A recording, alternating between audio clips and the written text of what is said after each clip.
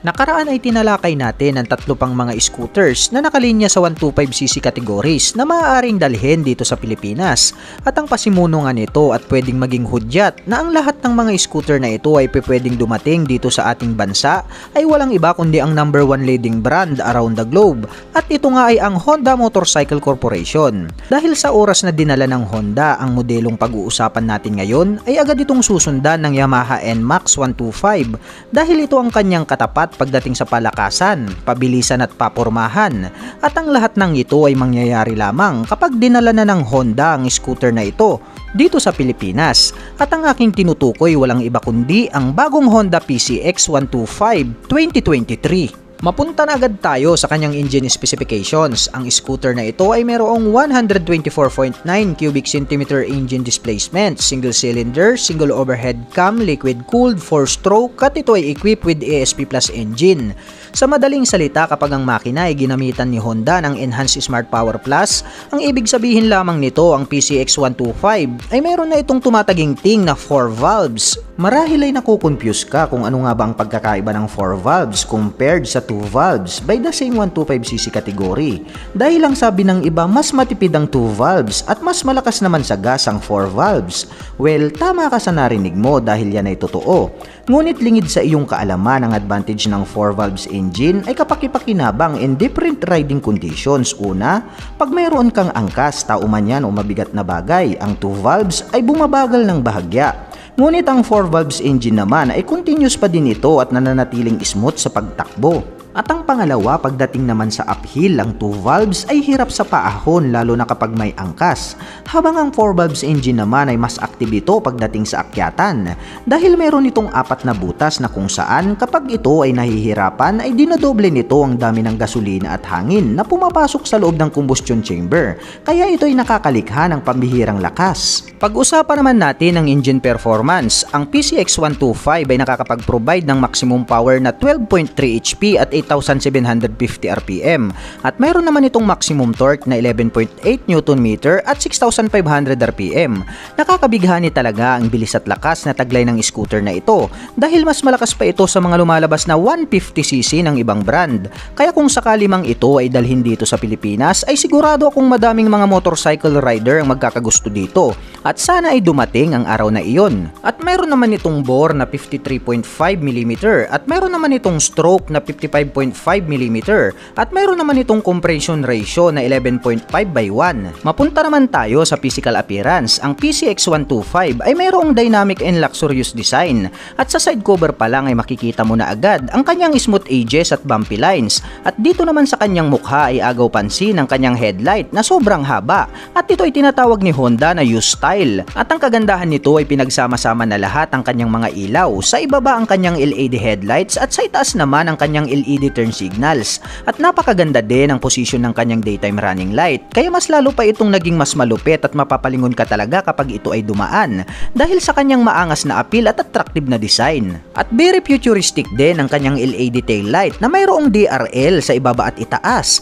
Kaya pagdating sa umaga tanghali gabi, ito ay very visible at napakaangas. At ang ganda din ng kanyang smooth finish na grab bar na hawakan ng iyong angkas. At ang lapad din ng kanyang upuan, maganda ang pagkakatahi at walang bakas at ang PCX 125 ay bagay na bagay para sa mga pinanganak na malalakas. At nakakaaliw pagmasdan ang kanyang full digital panel meter dahil ito ay more attractive at colorful at makikita mo agad sa laki ng kanyang speedometer kung gaano to kabilis at ka-powerful at dito ay mamomonitor mo na lahat ng detailed information gaya ng trip meter at tachometer at mayroon na din itong maintenance recommendation para sa battery at oil change indicator. At mayroon na din itong smart key system na makikita mo lang sa mga premium na scooter. At ibahin mo ang PCX 125 dahil ito ay masyadong advanced pagdating sa mga feature. At hindi na ito gumagamit ng mechanical key gaya pa ng mga pangkaraniwang mga motor. At dito ay makakasigurado kang always safe dahil gumagamit na ito ng remote control. At mayroon na din itong answer box system na pwede mong gamitin upang malaman ang location ng motorsiklo.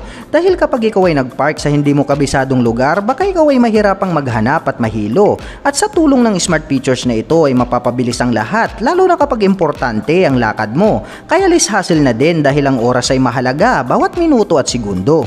At bukod pa dyan ay meron na din itong anti-theft alarm na nagsisilbi nitong security device na kung saan ay biglang tutunog ang motorsiklo kapag may nagtangkang mag-revise.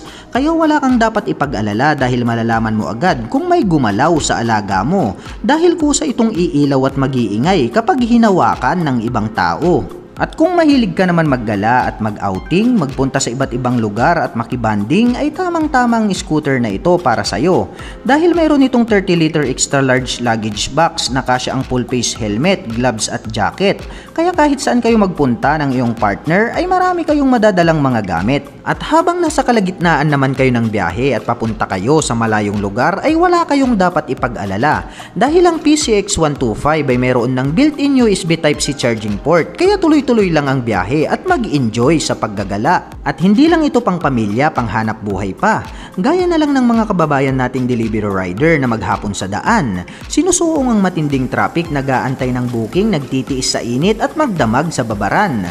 Perfect ito para sa ganitong mga activities dahil hindi ka na mangangambang malobat ang dala mong mobile phone. At pagdating naman sa posisyon ng fuel tank, less hassle na din dahil ito ay located sa harapan. Kaya hindi mo na kailangang tumayo kapag magpapagas ka, lalo na pag may angkas kang kaibigan. At ang ganda din ng kanyang fuel tank holder na nagsisilbing lalagyan. Kaya hindi mo na kailangang ipatong ang takip ng gas tank kung saan saan dahil bawal itong madumihan.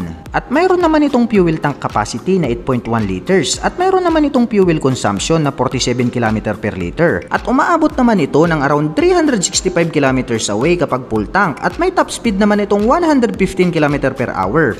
At decent na din ang kanyang wider front tire na may sukat na 110 by 70-14 sa harapan. At wala itong pagkakaiba sa kanyang big brother na si PCX 160 dahil meron itong 130 by 70-13 sa likuran. At ang isa sa mga advantage ng mas malapad ang gulong ay mas stable ito sa gitna ng daan. At kahit na anong road condition ay mas reliable ito kung ikukumpara sa iba at maaasahan dahil perfect ang PCX 125 pang city riding, pang long rides, pang scroll at pang akyatan. At mayroon naman itong dual shock absorber na mas matibay at maaasahan. At kahit na mabigat ang iyong dala at angkas, ito ay mapagkakatiwalaan. Dahil ang dual shock absorber ay nakakapagbigay ng good stability kahit saan. At nakakapag-provide naman ito ng magandang balanse kapag ikaw ay liliko sa kaliwa at kanan. At ang kagandahan pa nito ay equipped with ABS, ang anti-lock braking system, ay nakakapagbigay ng smooth na braking power sa tulong ng kanyang katandem. At sa pamamagitan nito ay pinipigilan ng mekanismong ito na maglock ang mga preno.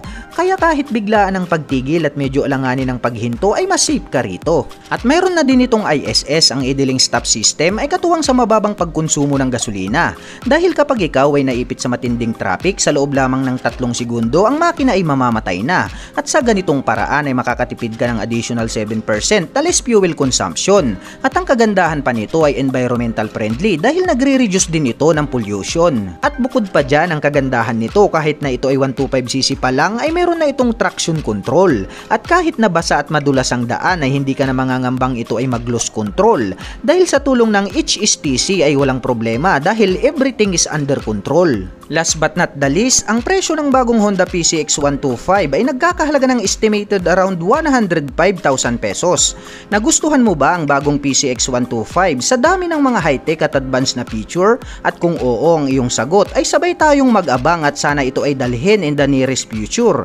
At kung interesado kang mauna sa lahat ng mga latest updates tungkol sa mga motorsiklo, ay huwag mong kalimutang mag-like, share at subscribe para lagi kang updated pag mayroong bago.